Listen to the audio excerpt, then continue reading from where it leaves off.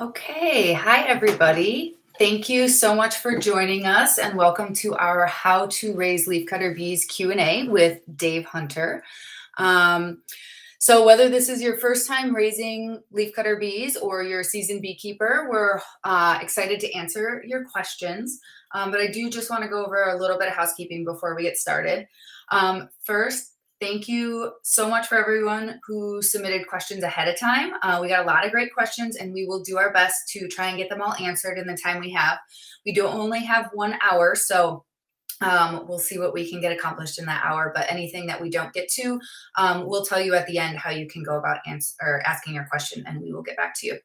Um, so we've organized the questions to follow the leafcutter bee season. So we'll start with incubation in the spring, followed by summer, uh, yard and garden prep, and then um, we'll end with protecting them throughout this, the winter and spring.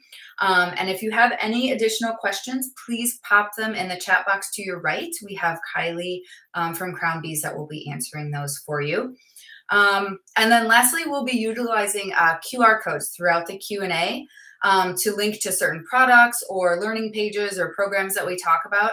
So if you have your phone ready, you can scan the codes as we speak and it'll take you directly to the page that we are talking about. Um, but if you don't want to worry about um, messing around with your phone, um, you can, this will be posted on YouTube directly after the webinar. So you can always go back through um, and scan them then. So with that, I will turn on Dave. Um, and he can introduce himself and we will get started. Great. Thanks, Kim. Uh, this is always just such a fun get to do. It's uh, transitioning from one season mason bees into just an exciting season of leafcutter bees. It's new, and how do we do this? And um, I don't know. I enjoy it. Um, uh, we have learned a couple rules that uh, the leafcutter bee clearly is a warmer temperature bee, and so um, you know, I think a lot of people have been um, you know, querying, when do I get these bees to my yard? Mm, you know, when the temperatures are in the upper 70s type of thing. So it's um anyway, we're here. Um, we're happy to help you guys out, and um, you know, this uh, Crown Bees team is here to help you guys be successful. So when you have those questions, you know, our website's just chock full of videos and and um, and words. And then when doubt, you know, you don't get it there. Ah, we have you know, a couple people here that are just helping you, you know, learn what to do and and what to get. So uh, let's fire it away, Kim. Let's go. Great. Okay. So um, our first question is uh, from Rhonda from Washington, um, and it's a pretty great question question to start with. It is, how do I get started? Um, I'm in my fourth years with mason bees um, and would like to try leaf cutters. So, you know, can I get them from Crown Bees? What's the last date to acquire them? Um, just kind of what do we do to get started? Okay. Uh, just if you're getting the bees from our, you know, from us, you're able to choose when to get the bees. So there's, you know, you're able to choose on Monday uh, between now, um, let's say May 1st, all the way through into August. So take a week and we can get them to you. Um, to get started, uh, the leaf cutters that we sell are using smaller holes, six millimeter holes. So if your mason bees have finished, um, I would be removing bigger holes and putting in these smaller holes. Or if you're trying to do both at once, you just want to make sure you have a variety of holes in your nesting house that um, handles both larger bees and smaller bees. So um, no issues with keeping one house and just pulling out the nesting material. Great. Um, and then so as far as when should you buy leafcutter bees? This is another question we have from uh, Jennifer from Pennsylvania. So, you know, a different part of the country. So what, what do you look for when you want to buy leafcutter bees? Um, and Jennifer specifically says she doesn't have flowers on plants until July. Right. Okay. So um, some people out here just trying to add bees to the yard because it's just you know a thing to do. Other people are looking for workhorses and so if you're looking for a workhorse to pollinate your tomatoes or peas or beans or whatever out there um, i would be thinking through um, when you have this pile of you know pollen ready to be spread. Um, i'd get you so you know let's just say that the your some crop is going to be here july 1st I would bring in your leafcutter bees uh, a week or so earlier so that they're established and already moving. They're still going in a 300 foot radius, 100 meter radius. So uh, that's six acres. Um, they're grabbing and spreading pollen all over the place. So a little bit before. And then, um, you know, uh, a lot of people want to have a set of bees now and then wait two or three weeks or four weeks and add them again. These bees are out there actively flying typically uh, five to six weeks. Great. Um, so I, I'm popping this QR code up there, and this wasn't a question, but um, what if someone orders point. bees and then you know something happens with the weather, or you know they're going out of town when the bees are supposed to arrive? Can you change the bee ship date? So yes, you can. Um, if you can try to do this to us um, a few days beforehand, like um, Wednesday or Thursday, we're actually surprisingly um, boxing these bees up on labels in Thursdays and Fridays, and so they're actually going into our you know into FedEx envelopes on these days beforehand. So it's tough for us to try to riffle through boxes of these bees to get yours out. So to pull those out sooner would be great. And then um, appreciate um, it is a two-day adventure as we're shipping the bees from Woodinville to wherever using FedEx. Um, we used to ship these with the post office and get a lot of dead bees because it would take five or six weeks, you know, five or six days to get across. Nowadays, it's two days. Um, we're under incubating the bees a hair, so um, in the ship and still warm outside. Um, the bees, as they arrive, should be the boys are typically out, and the girls should be out just a hair afterwards. Should be if it's super warm as it goes, you'll probably have a lot more females out too. Females have dark eyes, and the males have, um, in fact, this picture behind me has has dark eyes. When you see the boys, brilliant green eyes. So there's a big difference. Cool. Um, so do the bees come in cocoons or are they free flying?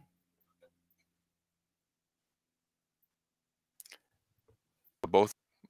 Um, we've started them uh, two or three weeks ago, uh, we looked forward and said, ah, how many orders should we make? We're incubating larvae that are in cocoons. And as we move them through their stages, they're almost adult um, bees as we ship them. So I'm going to say um, both. They are um, almost bees in cocoons. And by the time you receive them, you'll see bees as well. Okay. Um, so here's a good question about releasing the bees. So do I put the bee house or do I put the bee house in the net bag or the, sorry. Um, where do, basically, where do you put the bees when they arrive? Okay. You're going to have a, a, tube of bees, looks like a stick of dynamite. Um, the cocoons are packed in there. I would have them come out of there. It might be hard for the bees to kind of tunnel all the way through. Um, so we most of our houses have a um, cocoon hatchery. I would take my um, my bee tubes and uh, open that thing up and just kind of dump them into your cocoon hatchery. They'll emerge when they want to. So um, if you don't have a hatchery, you can just sprinkle the um, cocoons and the bees behind the nesting material that you've got there, not in front. Um, they might blow if they're on top, so just kind of put them behind. The bees will crawl over and work their way out. Okay. And how many leafcutter cocoons should you release per nesting hole? This is a species that disperses a bit. We know this, and we're sending out a couple hundred plus every time we ship bees. Um, knowing that they disperse uh, in in let's say in 200 you have maybe 80 or so females probably 30 females will um, start to nest there in one place and so if you're getting any one of our big, um, small sets of like 35 reeds or a seven eight hole tray that's enough you know start there um, so roughly to answer that um, if i give if we give you 200 cocoons having about 35 to 40 nesting holes would be a good um, proportion. So we're going to move into some incubation and release questions. Um, this first one comes from uh, Pennsylvania. And the question is you state that the bees come incubated. Could you explain what that means? Okay. So uh, the leafcutter uh, starts in the winter as, or you know, finishes the summer as a larva, and it's hibernating through the entire season as a larva. So we've pulled these cocoons out. Um, there's still larvae inside there, and we place them into. We have a big, large room that's um, heated to 86 degrees, has good humidity, and we're doing this ourselves, moving the um, the heat from you know 86 degrees, moves the bees from larva up to adult bees within uh, precisely uh, 23 days. Um, you're doing this at home uh, having a warm room, so like we're on, on, top of your water heater is a good place. Just something that's going to um, keep them warm in a dark room. Uh, it'll move them. Uh, typically takes about three or so weeks if you're doing this. Make sure that you're kind of watching the um, bees emerging from. Uh, we have like a bee guard bag. You'll find that the males will come out first, green-eyed people, um, bugs, and then when you see those males, ah, that's the time everyone's about ready. Move them outside. Okay. Um, so here's a question um, from Kit from Oregon. Um, and they ask, I placed my leaf cutters in their nesting tubes in the garage until spring. Will this prevent them from developing? The bees will stay in larval form at or below 55 to 60 degrees. So keep it, it might even be 65, I forget the exact number. But if it's below 60 degrees, they're typically not going to move into development. So um, we keep our bees here actually at about maybe 40 degrees during the summer months and then push them from there. So if you keep them in your garage, if it's cooler, sure, or under your house, um, you can keep bees from last year um, in your fridge, but we're always kind of cautious with that because of um, high humidities might get your um, leafy pieces moldy. But so I, I, would keep them someplace cooler and then move them to a warmer environment for them to start shifting. Wonderful.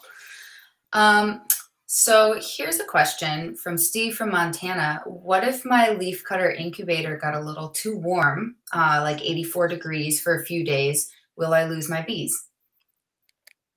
No, 86 is about uh, fine. And these are a warm temperature bee.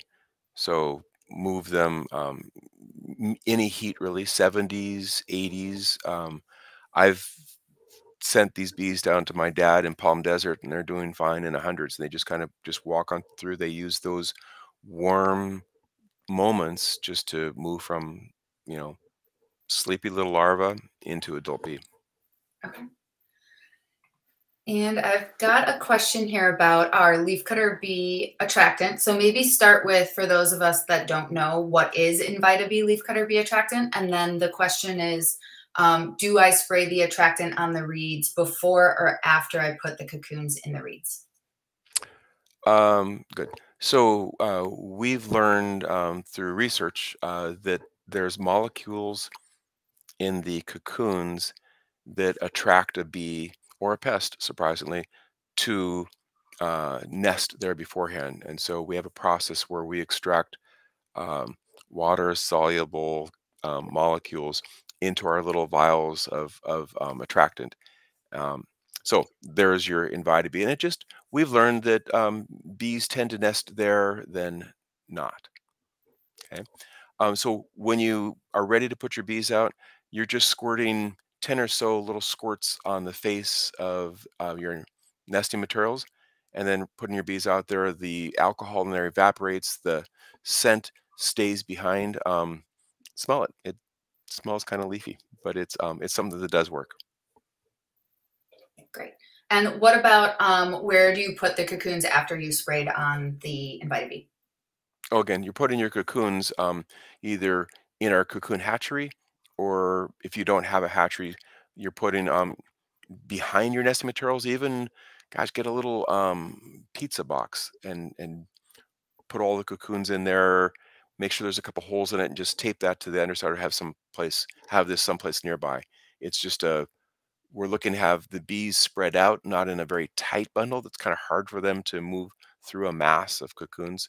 So kind of spread out um, and a a hole or two, and off they go. Mhm.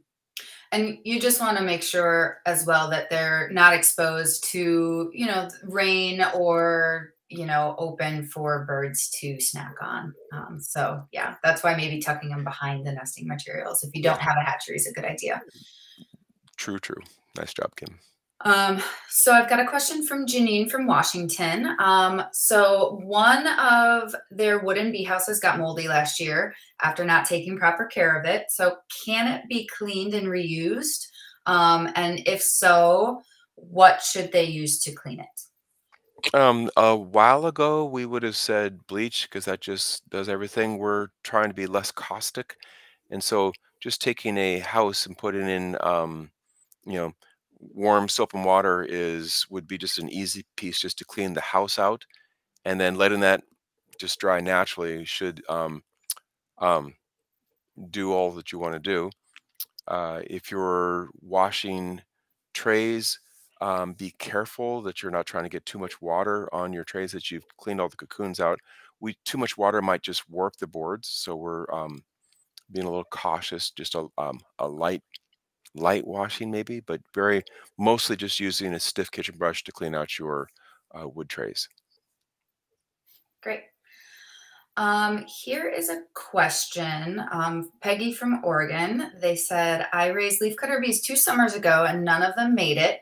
Um, if you remember, that was the summer we had temps about 110 degrees in June. Um, could the high heat have been the reason they didn't make it, or do you have any other thoughts? And Kim, what do you think when she says make it? Like, didn't survive the trip there or didn't nest? What would be your interpretation? Um, I'm not sure, so maybe speak to both. Um, Okay. Um, start with if they were purchased from us and it was the trip there, um, and then maybe if it was last season's bees that they raised themselves, what could have been the issue? uh, so it's important if you're going to be buying bees from us that um, we're trying to get you the healthiest bees possible. If somehow in a FedEx truck they just baked and it's not your fault, it's not our fault. Um, let us know. We'll send you out a fresh set of bees. Okay. Um, it is coming in an envelope, a FedEx envelope. Uh, that's typically sometimes on you know on a door stoop. If uh, this is too hot in your environment, it's not going to the mailbox. Maybe we can ship it to a work address. I mean, let's just you know we'll work with you to help you get healthy cocoons. Um, once the bees are there, if they're not exposed to direct sun, uh, the warmth does bring them out. You know, I'm I've been down there in Palm Desert in 100, you know, plus degrees, and the bees are just flying back and forth. So I'm not typically concerned about the um, bees actively flying in there. Um, I might be maybe if you know if it's super hot, I might uh, pull them out of a hundred plus environment, maybe kind of move them to someplace where it's 80s or 90s, like maybe inside 85 or something like that. I might, if you're just trying to incubate these, I might step in just a bit to um, look for a little more success. Okay. Um, and here's a question from Facebook um, that I pulled. They asked, I have a block of a thousand leafcutter bees and they've not come out yet. Our weather is fluctuating between 50 and 70 degrees Fahrenheit. Um, I keep the block in the sunshine. Any tips or should I just have more patience? I've had it out for about three weeks. There's there's two issues. Um, I, I suggest that you you know either you're renting this from somebody or someone's given you a, a pile to purchase. Um, it does take a while. Patience is probably um, the right answer um, in this specific specific case. Um, but it's just a small little history lesson. Twenty some years ago, the leaf cut industry had just big old huge blocks of, of drilled holes in their woods. They call them bee blocks, bee boards. And you might have maybe 2,000 holes with just all these bees inside there.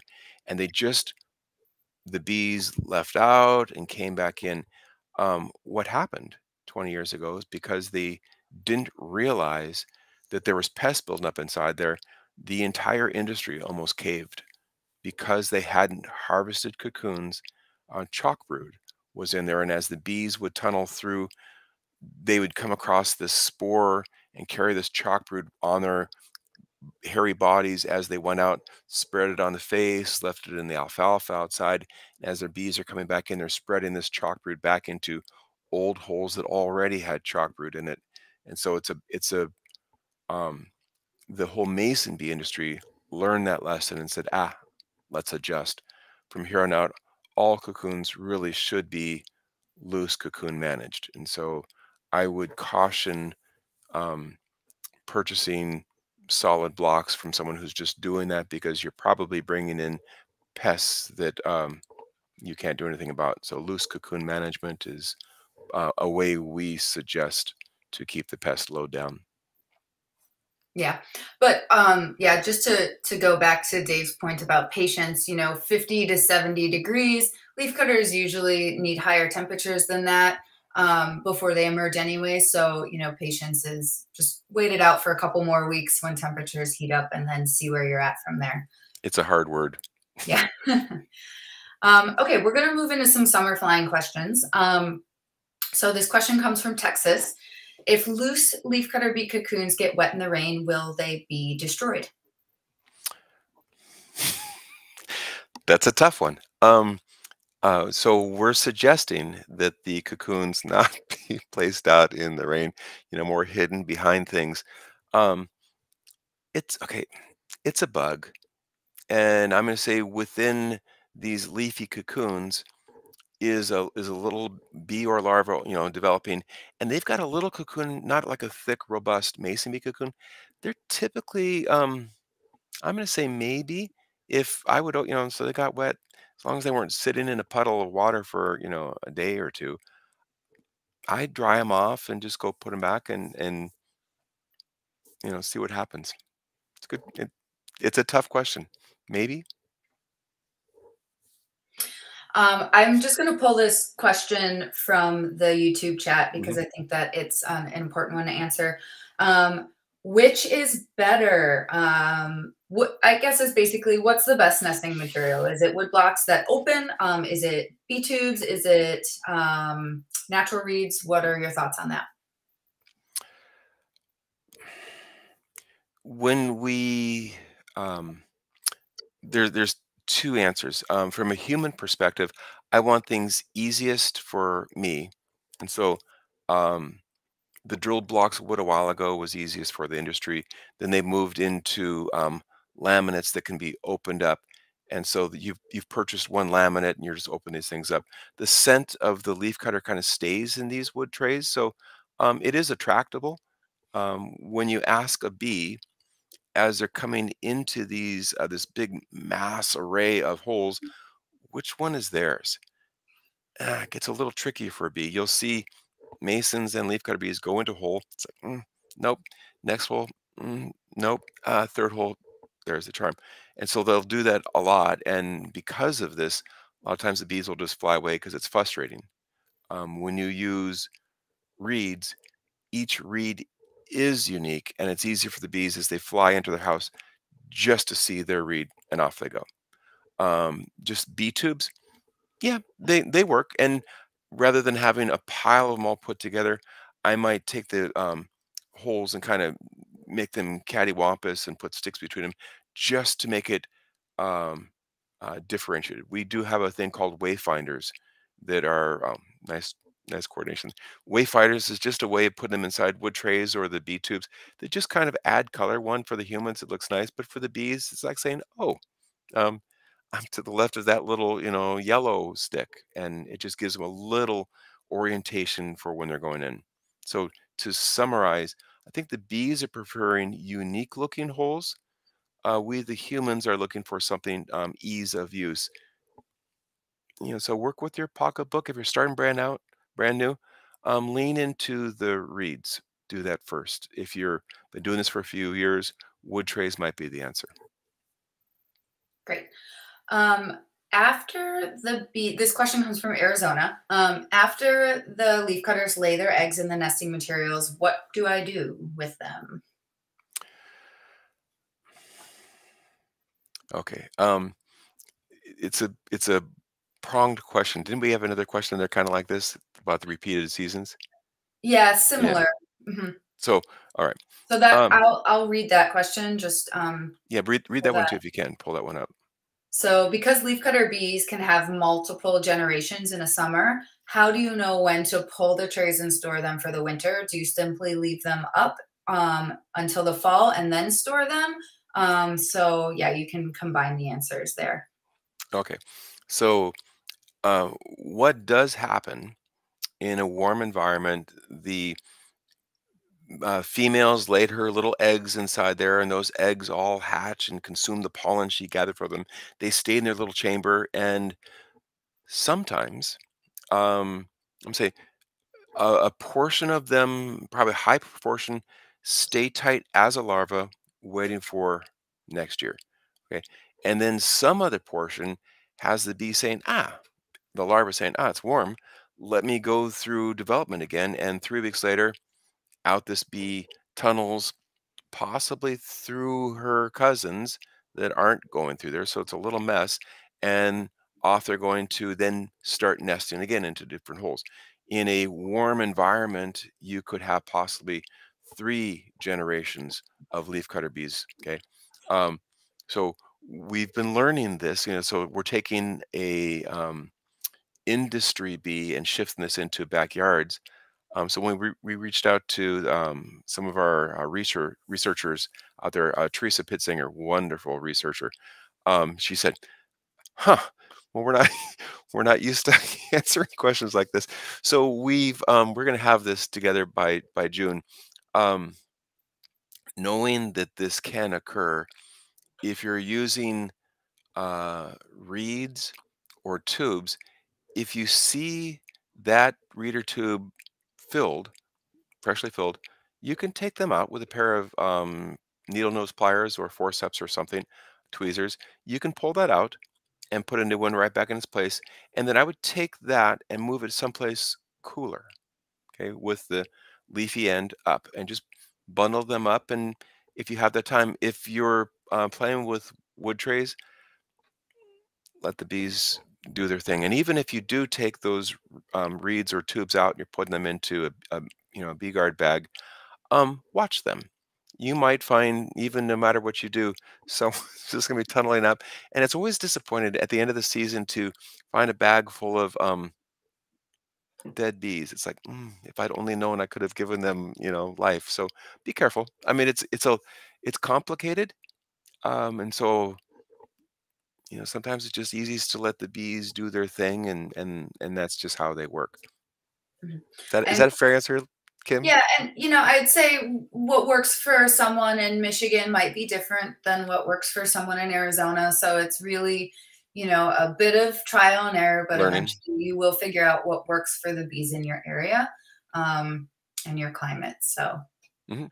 Experimentation. I think what happened last year, just even taking notes. This is what I observed. Um, next year, you'll you'll just as we learn how to raise this insect well. I think um, microecology, you know, learning what's going on in your little um, area is is good.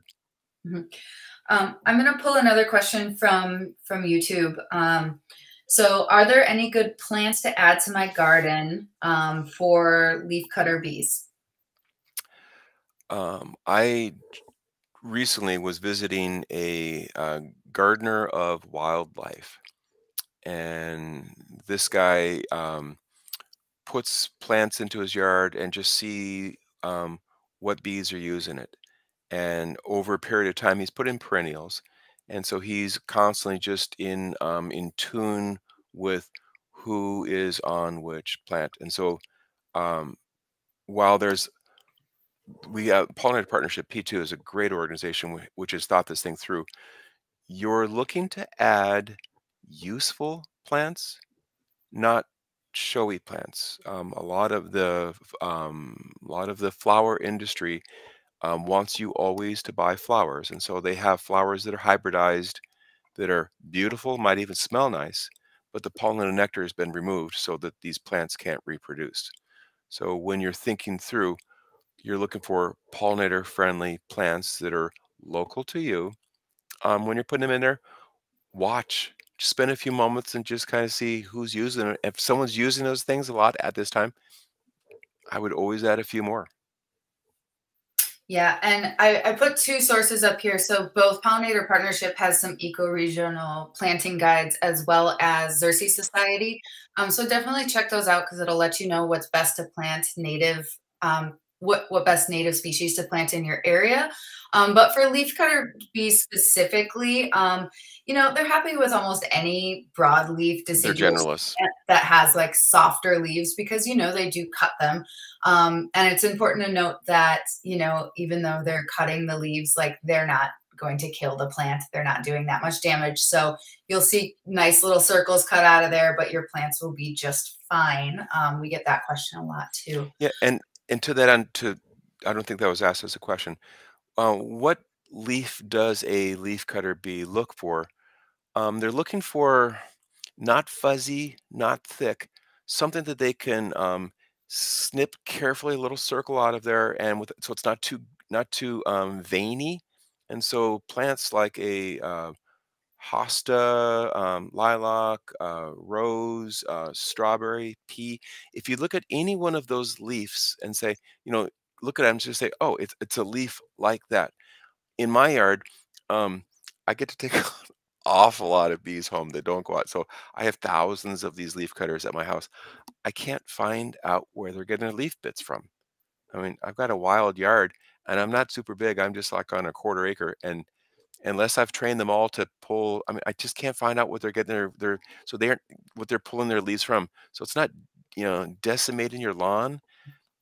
You know, nature has leaves there to be pulled apart. I guess. Yeah. Um, so this question comes from, uh, let me see here, uh, Janine from Washington. Um, and this is an interesting question. So they say I was successful raising leafcutter bees last summer, um, but unfortunately, my mason bee raising season was unsuccessful. So I had a lot of larger mason bee reeds still mm. around. Um, and the leafcutter bees ended up preferring the large mason bee size reeds. Um, so for this and future years, I'm thinking about having both sizes around for the leaf cutters. Do you recommend this? And do you know why they may have preferred the larger size? Um, as this industry progresses, uh, I'm learning more and more. We're learning more and more. Um, the bees that we sell are a you know from the leafcutter industry, and they pr- typically prefer a six millimeter hole. Um, there are hundreds of species of leafcutter bees across the country. Some are in the spring, some are in the summer, and there are big bees and little bees um, all looking for a hole of their size. And so it's possible that the bees that were in her yard are a, a bee that we don't sell, but it's out there using what's in front of you know what's in front of her.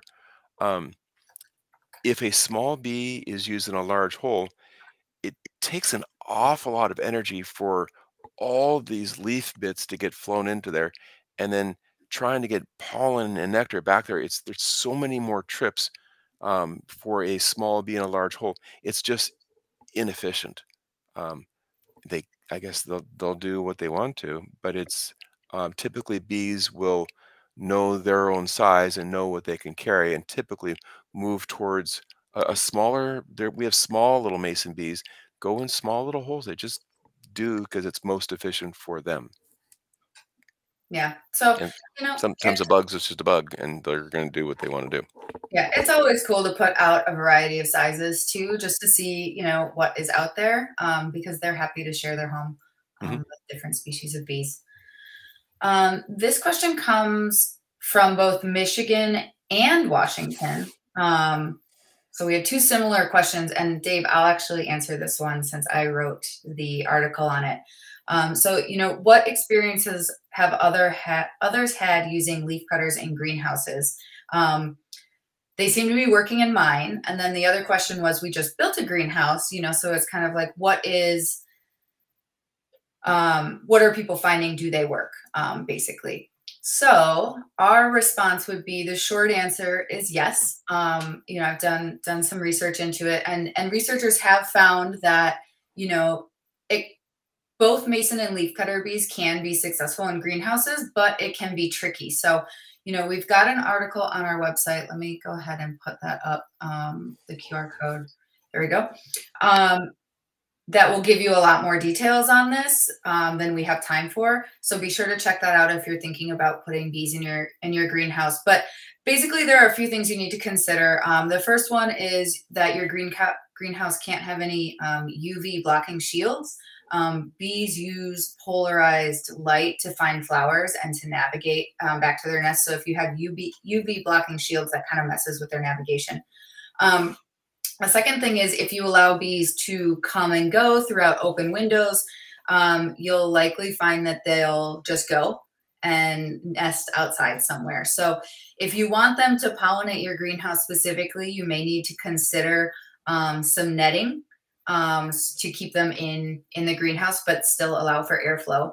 Um, and then you'll need to make sure you have plenty of pollen and nectar inside the greenhouse for your bees to thrive. So you know, a single bee can visit 2000 blossoms a day or flowers a day rather. So, you know, you need to make sure that you've got plenty of pollen and nectar. And if you're trying this with mason bees, you need to make sure that you have a mud source um, as well.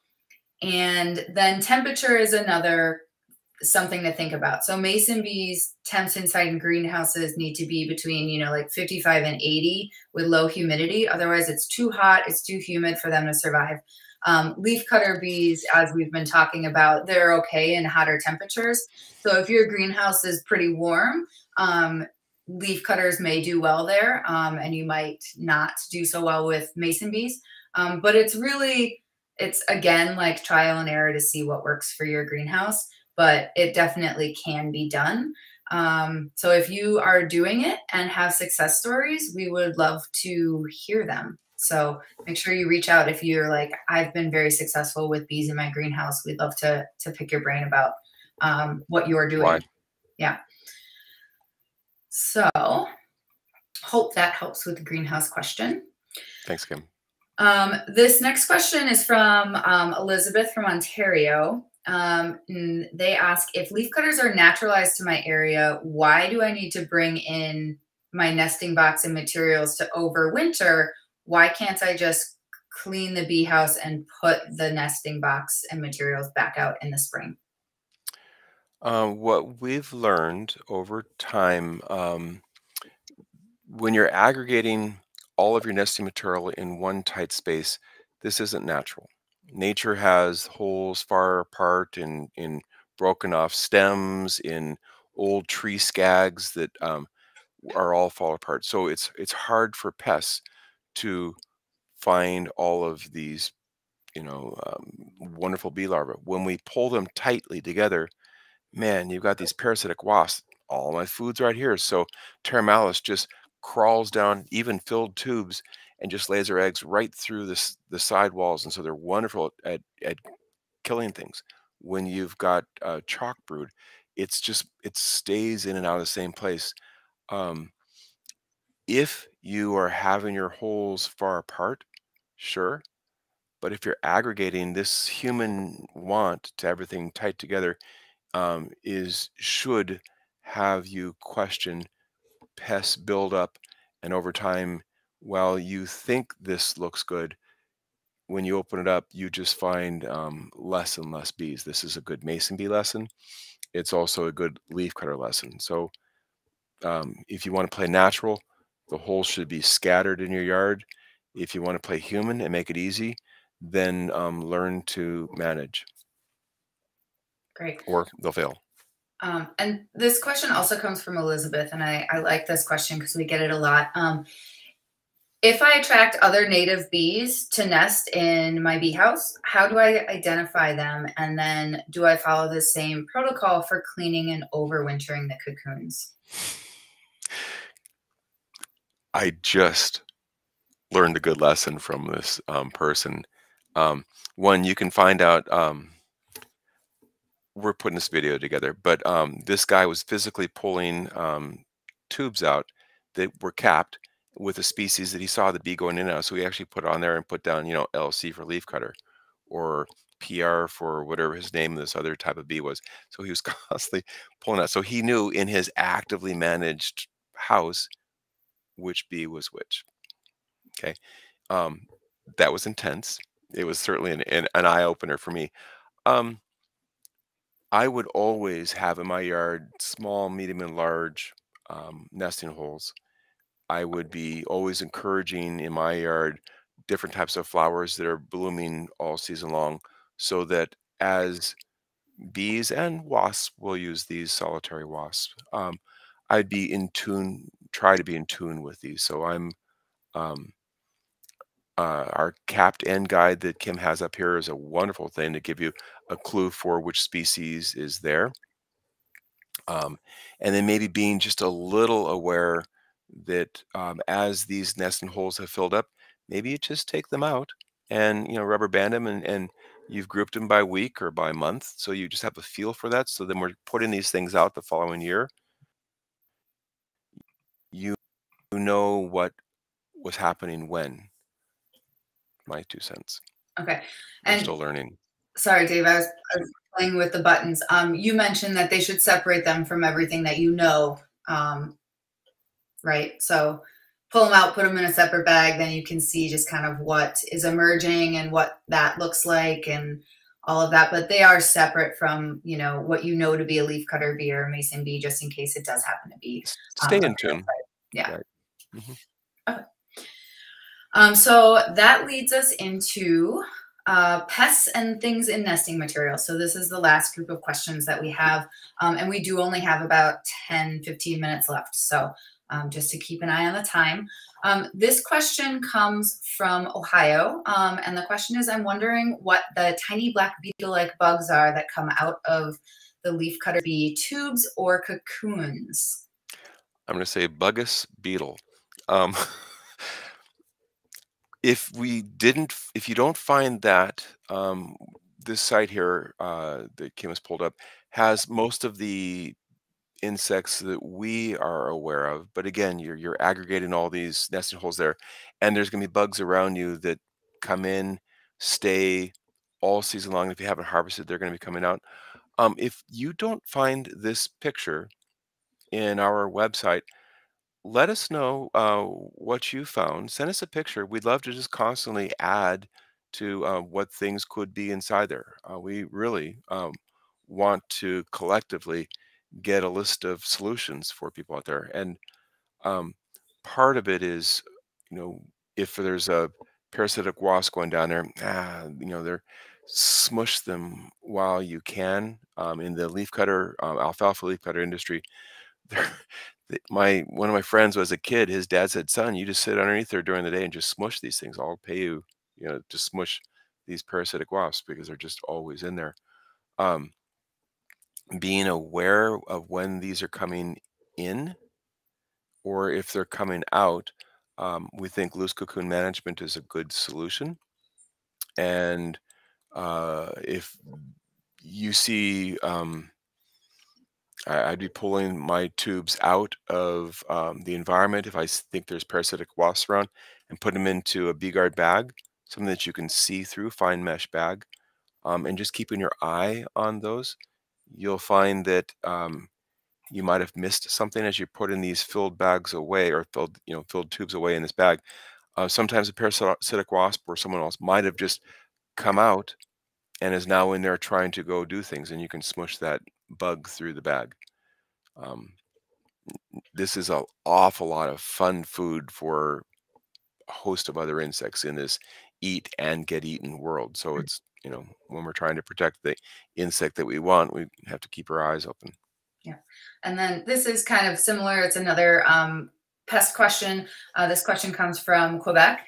Um, Indian meal moths seem to be able to get through my bee guard bag. Um, what do I do to prevent these pe pests specifically? Um, and how can I protect my bees while incubating and during storage?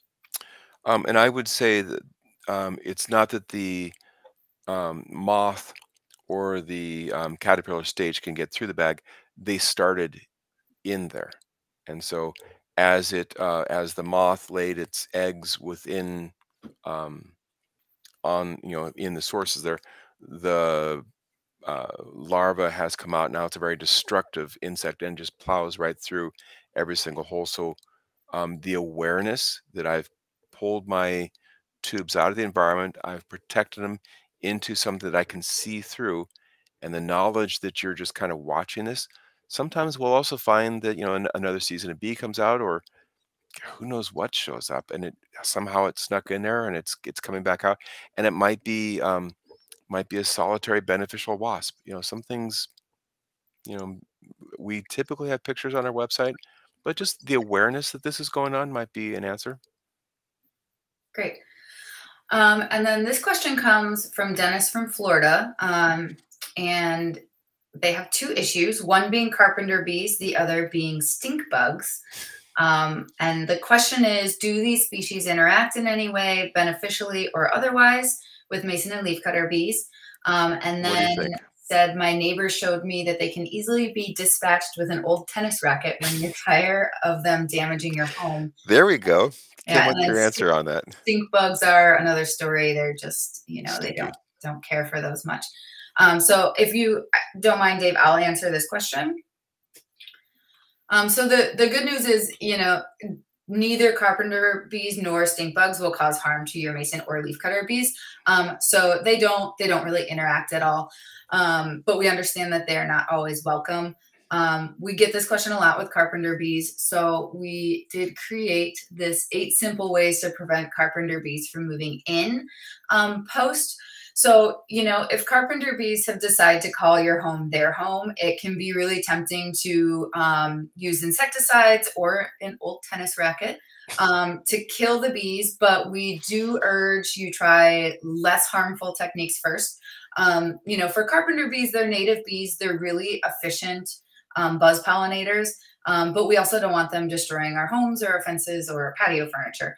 Um, so check out this blog post because it does have a lot of different bee friendly ideas to um, keep the carpenter bees um, at bay and stop them from becoming a nuisance, but still benefit your yard with their pollination. Um, just a couple of techniques that you can try. Um, carpenter bees do not like almond and citrus oil. So you can create like an almond citrus oil water solution and either spray where just a preventative spray. You don't want them nesting there. You, so you can spray that um, before they start flying or when you start to notice them flying. You can also spray it around um, the holes if you see, you know, that they're actively nesting there. Um, and that might cause them to, to abandon their nest. You can also provide homes specifically for carpenter bees. They like old weathered wood. So if you just take like a piece of old weathered wood and put it, you know, in the corner of your yard away from your house or your patio furniture where you don't want them, um, you know, they may just go and live over there. And, and take a drill bit that's a half inch drill bit and just put a couple little at a 45 degree angles up just start some holes for them starter holes. more yeah. some starter holes make it more attractive. Yeah and then the the last thing um, i have read that has been known to work um, it depends on whether or not you like this idea but hang a wind chime near the carpenter bee's nest because so, the the sound and the vibrations um, will annoy them enough that they will leave there we go. Um, so it may annoy you enough that you will not want to hang the wind chime, but you know, it is another tactic that has been used. So those are some ideas um, to help with with carpenter bees. As far as stink bugs, they're not native. I yeah, don't believe. I um, so, but they're not going to harm your bees. So do yeah, do what you will with the stink bugs. I, I was mm-hmm. looking here on the side. Liz E asked the question: Are all of these bee parasites non-native, or are there some of these insects that have uh, symbiotic or other relationships with the bees that we may not be unaware of? That's a great question. It is a good question. Um, yes, is is part of the statement. Um, some of them are imported. Some of them are naturalized. Um, in some all of cases, them are native. Right. Some are some are native. Some are naturalized. Mm-hmm. So part of this frustration of globalization is well they're here. Okay. And I think the awareness that when we aggregate a lot of stuff in one tight space, it is an attractive source of food for pests And so I think the awareness, Houdini fly is a mess that we're dealing with on the honey, on the mason bee side. Um, I'm sure there are. Uh, I I don't know when the uh, Pteromalus came in, but I think it could have been European or it could be a, a species that are here. But it's a mess for the uh, leafcutters. Our our pest and, and disease guides um, on our website do highlight which ones are native and which ones are not. Um, so if you read through that, it'll give you an idea. Because, I mean, you know, predator prey relationships are important. Um, so while we want the bees to all survive, um, if we lose a couple to native predators and they've, you know, evolved together, uh, that's okay. yeah, and and I think the real reason is when we nature wants um, not any of one species all put together. So when there's an aggregated pile of, of something, nature says, nah, you shouldn't do that. And and they move pests in there to kind of bring it down to something that's, you know, more manageable for nature. But when you and I are trying to put a lot of pollen out here that's more than natural, you know, us at the top of the food chain, what we want. And so, you know, we are working against nature by putting all of this loaded pollen out there. And we're fighting the bunnies and the caterpillars to that are eating that. Same thing that happens, you know, now you've got your aggregated food sources here. Of course, your pests are going to move in because that's just what nature does. Too much of one thing feeds the other. Great. Okay, um, so that we don't get accidentally cut off like we did with our Mason Bee Live Q&A, um, I think we are going to wrap it up. Um, but I do want to thank everybody for joining us and bringing your questions. And I also want to just highlight again that we have a ton of additional resources on our website. Visit our Leafcutter Bee um, Be Knowledgeable page. You can, all of your questions can be answered there. And if they're not, because we do miss things once in a while, um, this QR code here links to where you can submit your question. Or if we didn't get a chance to get to your question today on the live Q&A, um, you can just scan that or visit our um, help center on our website and fill out the ticket and we will get back to you with an answer as soon as we can. So um, again, thank you. And visit our website. And good luck with the bees. Dave, any final words? Um, no, I guess the fun part is, um, yes, I'm so I guess yes, I have a, a, a word. Um, years ago, I'm out in DC at some huge big science confer- conference of all these entomologists across the country, all trying to solve pollination something. And in two days, all honeybee, five minutes of bumblebee, and the word mason bee was said one time and you move this forward and slowly but surely you see uh, mason bees more in mainstream and then uh, our company said hey let's bring in this you know industrialized um, leafcutter bee and you see it in mainstream media from nothing to rarely to occasionally to um, it's now out there and i think more and more people are learning that you can have spring and summer bees and it's just exciting to see the industry um, of of backyards learning that they can you know have other creatures used in their houses. So this is fun. It's a it's a wonderful um it's wonderful to be in this company with people like kim. I enjoy it. and kylie thanks for answering questions guys. Yeah. And i i meant to put this up earlier but you know um just as a thank you for joining us today there's a, a code you can uh, put on your next order and get 10% off whatever you order from us. Um, just as a, if you wanted to watch this before getting started with leaf cutters, this will help you out. So, all right. Thanks and happy Thanks, Bye. guys.